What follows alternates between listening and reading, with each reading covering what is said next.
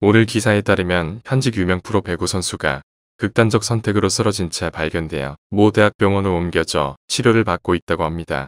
경찰에 따르면 오늘 영시경 경기도 용인시 기흥구 모연수원 화장실에서 유독가스를 피운 채 쓰러져 있는 것을 동료가 발견해 경찰과 119 구급대에 신고하였습니다. 현재 해당 선수는 대학병원으로 옮겨져 치료를 받고 있고 다행히 생명에는 지장이 없다고 경찰은 전했습니다.